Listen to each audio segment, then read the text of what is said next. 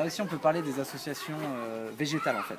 Euh, dans le sens où il y a des plantes qui s'aiment bien et d'autres qui s'aiment pas. Souvent, on se crée des problèmes sans s'en rendre compte.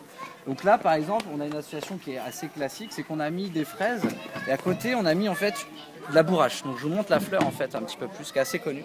D'ailleurs, c'est une, fleur qui est comestible, ça a un goût un petit peu d'iode, un petit peu comme l'huître, donc c'est assez intéressant. Euh, donc ça, ça va être intéressant parce que ça va attirer des pollinisateurs et de la biodiversité en général. À côté de vos fraisiers, ça peut être intéressant. Ça, c'est une plante un petit peu, euh, dire, généraliste, un petit peu comme euh, les capucines aussi, euh, comme les œillets d'Inde, comme les soucis. C'est des plantes à intégrer dans votre potager, c'est des plantes qui, qui s'entendent avec beaucoup d'autres plantes. Euh, les aromatiques aussi en général, et notamment le thym et le romarin, sont très intéressants dans un potager. Euh, et aussi, par exemple, il y a des associations qui sont très connues. Je vais prendre l'exemple de la tomate, qui est assez connue. Euh, on a mis souvent des œillets à côté. C'est presque culturel, tout, tout le monde met des œillets. Euh, les œillets, ce qui est intéressant, c'est que de 1, ça va attirer certains insectes, notamment des pollinisateurs.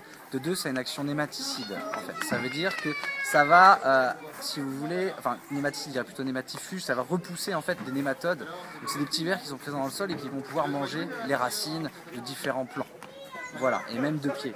Donc c'est intéressant d'en mettre. Après, ce qu'on peut mettre aussi, c'est le basilic. Parce que la tomate et le basilic s'entendent bien.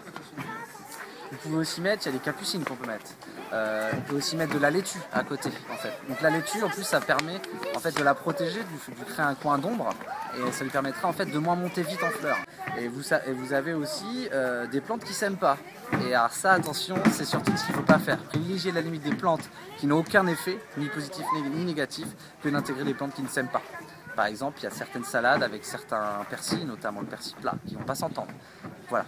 Donc ça, n'hésitez pas à vous renseigner, à essayer de récupérer des tableaux, vous mettre ça dans un coin, euh, là où vous avez vos outils, vos graines, et comme ça, ça vous fait un pense-bête à chaque fois que vous installez des choses dans le potager.